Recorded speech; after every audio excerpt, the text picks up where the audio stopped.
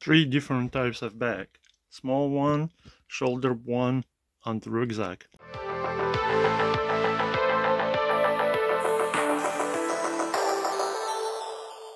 So you came to with the question which bag to choose. I'm gonna explain you what's the difference between them, how you can use them, and which one you need. So the first bag is simple bag, which is allow you to put camera with the lens into it.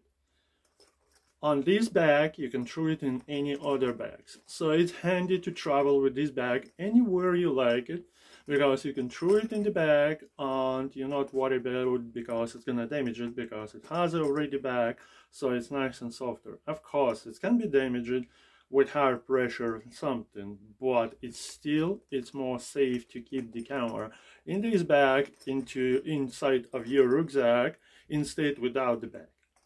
So this bag is it has the strap which is allow you to put around and put it on your neck on your shoulder anywhere you like it.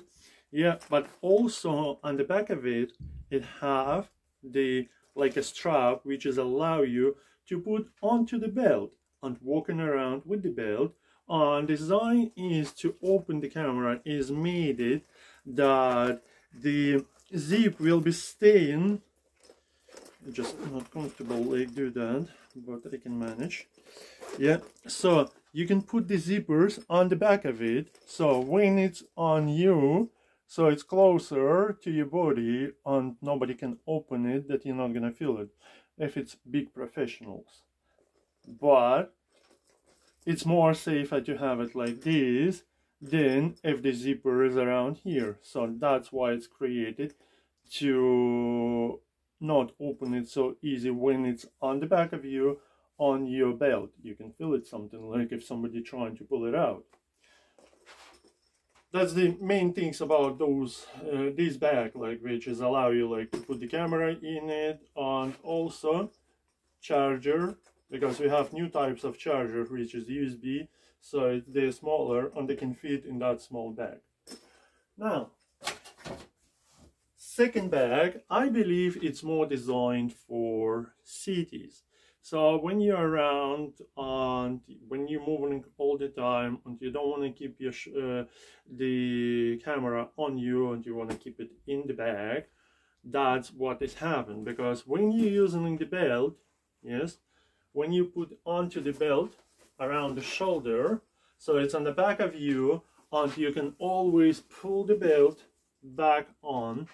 And you can always open quickly camera and get the camera uh, the bag and open uh, pull it out the camera faster.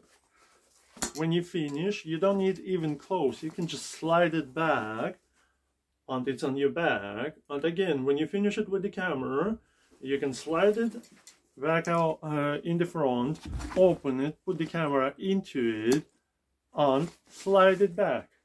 That's what I believe is good these bags for because it's not suitable honestly for the mounting for the huntings uh, hikings because that's what we have here is the rucksack so the rucksack is more designed for cameras on hiking because it, you can put it onto your back on two belts and it stays and when you walk and leg so it stays on your back.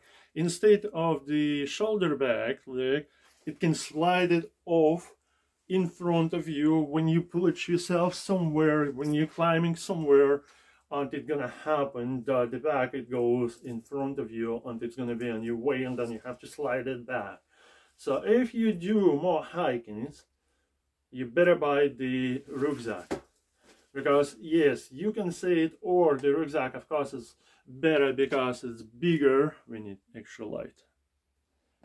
Uh, it's bigger and it can be fitted more stuff in rucksack. There's big rucksacks there's smaller rucksacks also you can find it a small shoulder bag because I have for example three types that's the middle one I have a smaller one and I have a bigger one so it's not about what can be fitted in it. It's about usage, where you're using it, how you using it and what you have more comfortable. If you're more comfortable even with the hiking, why you can always mix it up with this name. Uh,